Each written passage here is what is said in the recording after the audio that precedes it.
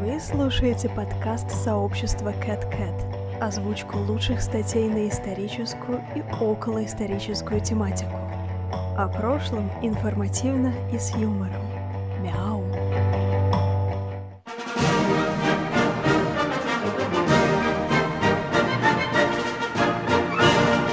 Русско-персидская война 1826-1828 годов. Часть шестая.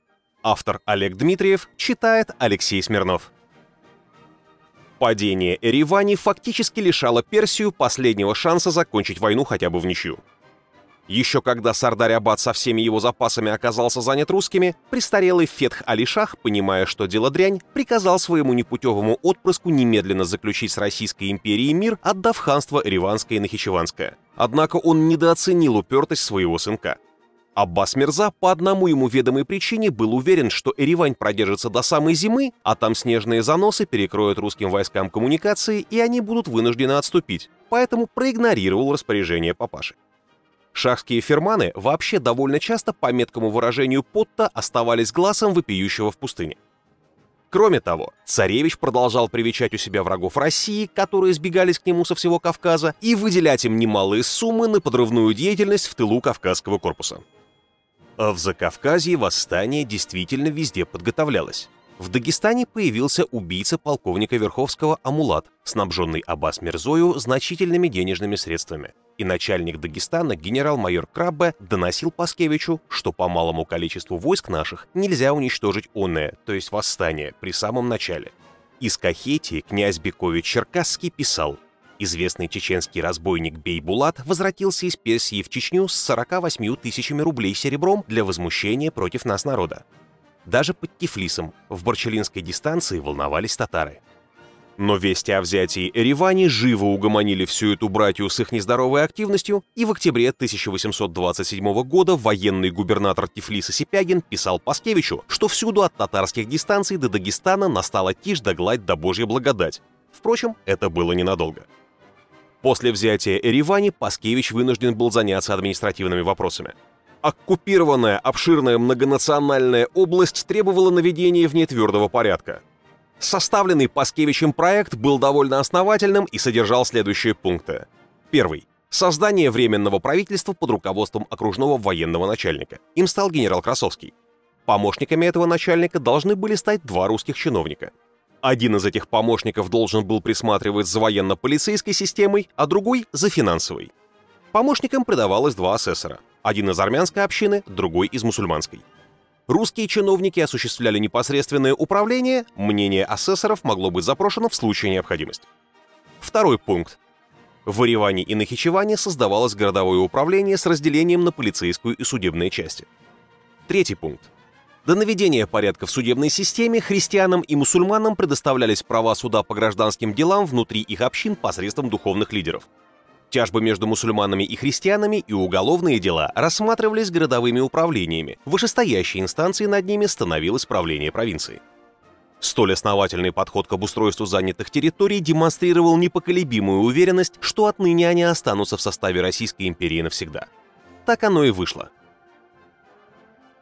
Взятие Тавриза – Маленькая победоносная война, как это уже не раз было и будет в истории, привела к самым плачевным последствиям для ее инициаторов. Череда военных неудач спровоцировала народное возмущение и серьезный политический кризис в Персии, который поставил под вопрос власть Каджарской династии, трон под которой, как уже упоминалось, шатался еще до войны. Теперь же у него, образно говоря, вообще выбили одну ножку и доламывали вторую. На фоне этого Фетхалишах уже сам стремился заключить мир, но не все было так просто. Парой месяцев ранее Иван Федорович Паскевич, выполняя инструкции Петербурга, предлагал персам мир на достаточно божеских условиях, но, как говорится, жадность фрая разгубила. Аббас Мирза задрал нос и отказался от предложения. Теперь же, как и предупреждала русская сторона, условия были более тяжелыми, и к территориальным уступкам в виде Ереванской и Нахичеванской областей добавилось требование выплаты военной контрибуции в размерах 10 куруров, 20 миллионов серебряных рублей. Против передачи двух провинций Шах не возражал, а вот требование денег привело Шаха в настоящую ярость. Дело в том, что в Персии не существовало такого понятия, как государственная казна. Все доходы, которые каджары выколачивали с подвластных народов, по умолчанию принадлежали лично Фетхалишаху. То есть контрибуцию он должен был выплатить, по сути, из своего кармана, что его категорически не устраивало. Недовольный шах, припомнив своему наследнику, что именно тому принадлежала блестящая идея объявить войну России, начал требовать, чтобы расплачивался с русскими тоже он. Для того, чтобы поторопить персов с принятием единственно верного решения, Паскевич приказал сделать движение к Тавризу, где была расположена резиденция самого Аббаса Мирзы. Тавриз имел важное политическое значение не только как столица богатого Азербайджана, как наиболее населенный и торговый город всей Персии, но как центр первых начинаний промышленности, правильного снабжения армии и вообще зачатков европейской цивилизации в Персии. С потерей Тавриза и Азербайджана персидское правительство утрачивало материальные средства для продолжения борьбы, например, единственный в Персии арсенал и литейный завод, становилось бессильным и униженным, а Россия приобретала то грозное нравственное значение, которое надолго обеспечивало ей преобладающее влияние в стране. Движение должен был начать сравнительно небольшой отряд князя Эристова, оставленный для защиты Нахичевани от поползновений со стороны Аббаса Мерзы, а за ним от Еревани двигались основные силы. Но произошел курьезный случай – Армия персидского царевича постоянно маячила где-то впереди наступавшего отряда, но никак не вступала с ним в столкновение. А конница, посылаемая на рекогносцировку, неизменно обнаруживала лишь следы брошенных лагерей. Наконец-то стало известно, что Аббас Мирза не решился преградить пусть русским и отступил к Хою. Местные армяне рассказали Эристову, что в персидской армии все окончательно пали духом и началось повальное дезертирство, так что никакого сопротивления от врага ждать не стоит. Ободренный этими слухами князь отдал приказ двигаться прямиком на город. В Тавризе же при этих известиях начался невообразимый дебош и хаос. Местное население, уже знавшее последние новости о взятии Эревани, совершенно не горело желанием повторять судьбу ее обитателей и класть жизни за ненавистных каджаров. Командующий обороной Аллайархан тщетно пытался навести порядок. Город был охвачен паникой, солдаты отказались повиноваться, бросали оружие и покидали свои посты. 13 октября к Тавризу подошел авангард русского отряда под командованием полковника Муравьева. Ему еще ничего не было известно о царившем в городе настроении. Более того, с крепостных стен было даже произведено несколько артиллерийских выстрелов. Впрочем, эти выстрелы стали своеобразным сигналом к началу повального бегства персидской пехоты. Напрасно Алай-Архан в бешенстве кричал, чтобы жители занимали стены и резал уши и носы ослушникам. Ему уже никто не повиновался. Никто не решался, однако, и выйти к русским навстречу. Тогда Мирфитах Сиид, глава таврийского духовенства, принял в свои руки спасение города. Он явился к Алай-Архану и решительно заявил, что всякое покушение сражаться при настоящих обстоятельствах послужит только к вреду правоверных. Он посоветовал хану сложить с себя звание главнокомандующего и уехать из города. Алай-Архан послушался и скрылся в одной из городских предместий.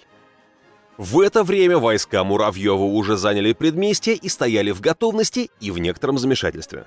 Было не очень понятно, что происходит, поскольку город не защищался, но и не высылал делегацию с ключами. Солдаты с любопытством смотрели на разворачивающееся перед ними представление в лучших традициях азиатского цирка. В это время на южной стороне Тавриза в поле показалась толпа скакавших от города всадников. Расстояние до них было так велико, что преследовать было бы бесполезно, и их оставили в покое. Это бежал, как узнали после, гарем Аббаса Мерзы под прикрытием небольшого конвоя. Участь гарема была бы, однако, несравненно лучше, если бы он остался в городе. Куртинцы, сторожившие персиян по дорогам, напали на женщин и ограбили их дочисто, так что даже с любимой жены наследнего принца сняли шитые золотом бархатные шальвары. В конечном итоге к Муравьеву вышли городские представители и объявили о сдаче Тавриза. Резиденция царевича Аббаса Мерзы и столица Северного Азербайджана пала к сапогам русского солдата, как перезревший плод. Само собой. Сам Алаяр-хан, бывший на секундочку первым министром Аббаса Мерзы, тоже бежал из города и пытался спрятаться в предместьях, но был обнаружен и доставлен под белые рученьки к русскому командованию. О вступлении князя Эристова в покоренный город сохранился следующий анекдот. Приближаясь к Тавризу, мы увидели сплошную массу народа, стоявшего версты на три от города по обе стороны дороги, по которой медленно подъезжал к нам Беглер-Бей с огромной свитой. Преклоня голову, он передал ключи города отрядному начальнику князю Эристову. Князь, указав персиянину ехать подле себя, тронулся вперед. И началось церемониальным маршем торжественное шествие с музыкой и барабанным боем. Народ кланялся до земли, подымал руки то к небу, то к сердцу, кричал что-то про Аллаха и справа и слева. При приближении князя Эристова резал баранов как жертвоприношение. Чуть ли не до ста штук было зарезано на этих двух верстах. Пройдя мимо дворца Аббаса Мерзы, называемого Арк и окруженного каменной стеною, мы расположились лагерем. Отдохнув немного, я пошел с товарищем в город. Тут подошел ко мне Александр Сергеевич Грибоедов и, поздоровавшись, рассказал, что Эристов в восторженном настроении от взятия Тавриза считает себя чуть ли не выше Цезаря и, разговаривая с ним, вдруг спросил. «А что, брат, Паскевич будет доволен?» «Не знаю», — отвечал Грибоедов. «Это еще посмотрим». «Ничего, брат, Тавриз взял, шаг сзада прогнал. А что, брат, как ты думаешь, что скажет Европа?» «Э, ваше сиятельство, Европа не Катерина Акакьевна, она мало заботится о Тавризе и кто его взял», — отвечал Грибоедов. Катерина Акакиевна – полковница, вдова, жившая в Тифлисе и всегда игравшая с князем Эристовым в бастон. 19 октября в Таврис с основными силами прибыл и сам Паскевич по случаю взятия города, устроивший военный парад. Причем он разрешил войскам пройти по-ермоловски, то есть в походном обмундировании, имевшем вид далеко не парадный. И куда только делась щепетильность в вопросах дисциплины и внешнего вида, которую Иван Федорович проявлял ранее, пока главнокомандующим был не он, а Ермолов. Туркманчайский мир Заняв Таврис, Паскевич тут же уведомил об этом Фетх Алишаха, а также проинформировал его, что сумма контрибуции возрастает до 15 куруров. Стоит ли говорить, что гнев Шаха возрос прямо пропорционально сумме выплат? К этому добавился и тот факт, что жители Азербайджана были, мягко говоря, не в восторге от власти каджаров и в целом были сами не против перейти в подданство России. Хан Маранский тотчас же передался русским и даже сражался против персиян. Марагинский хан освободил русских пленных офицеров, слепец Аттахан Мышкинский сам выехал навстречу Паскевичу с изъявлением покорности – Шикакинское воинственное племя подняло знамя бунта против каджаров, прекратив проезд по Тегеранской дороге, так что Паскевич вынужден был послать к ним Джихан Герхана, главного начальника этого племени, чтобы выдворить между ними хоть тень порядка. В самом Тавризе духовенство открыто поощряло народное движение в пользу русских и громогласно проклинало каджаров.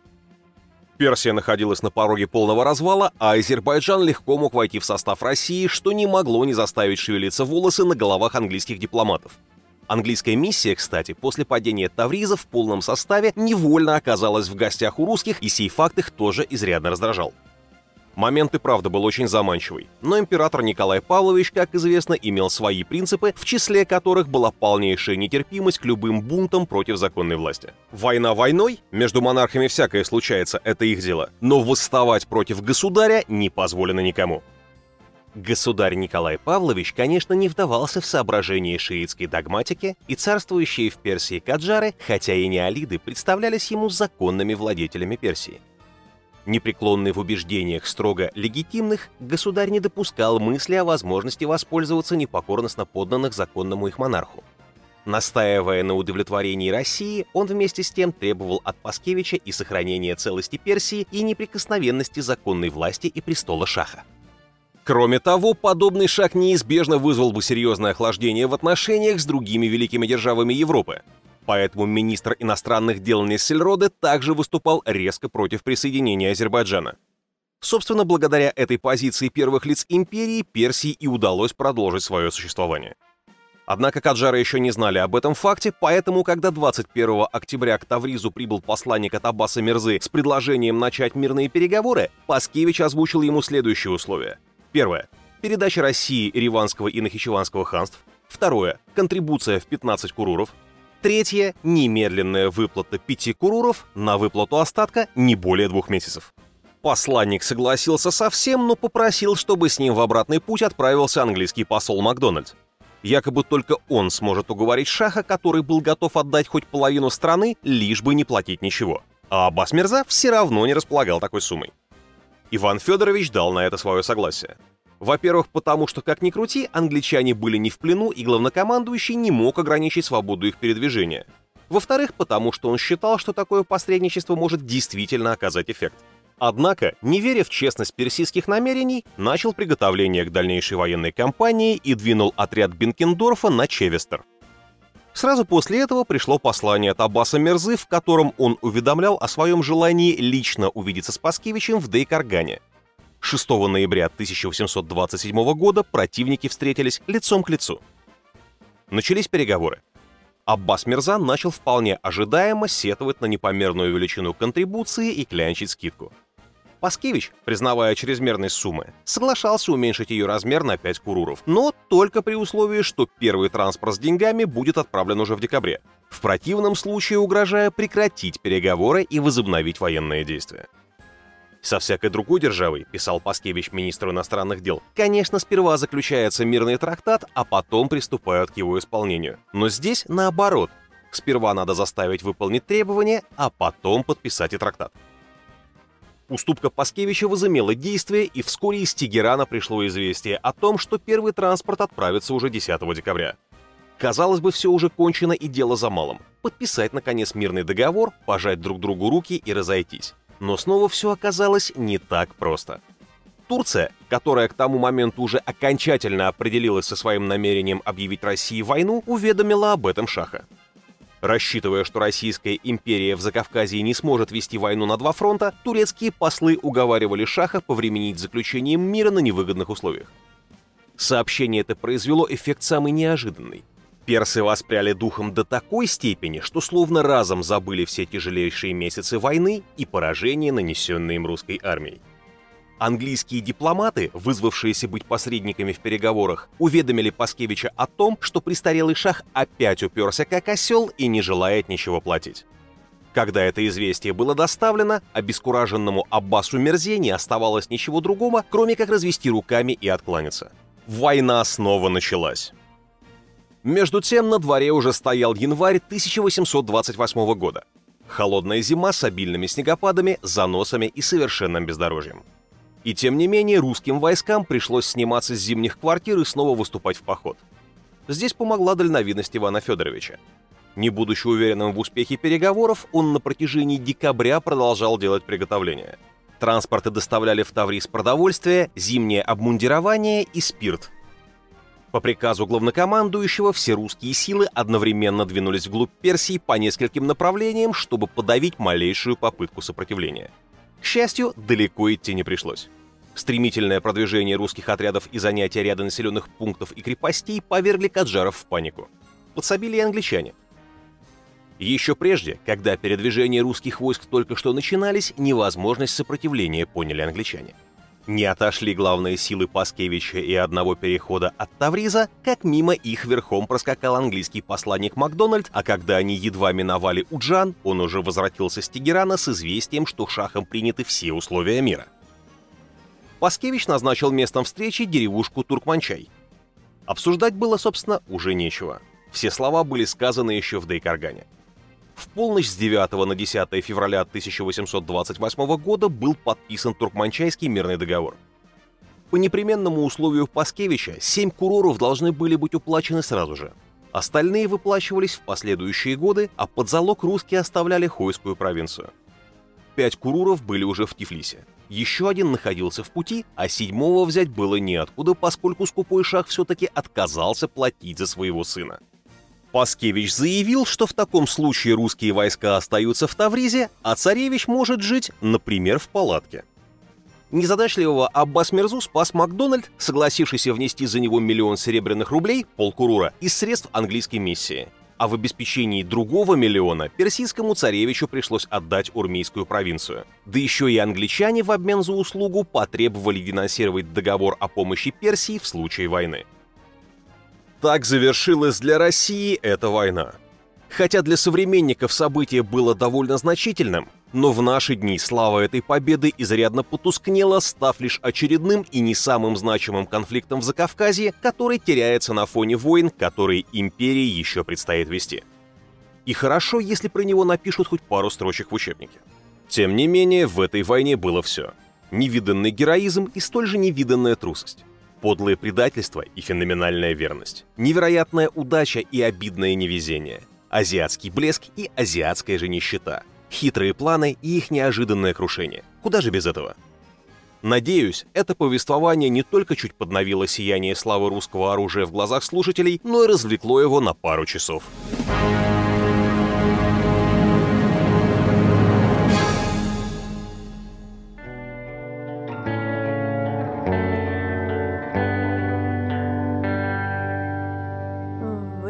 Прослушали аудиоверсию статьи сообщества Катехизис Катарсиса.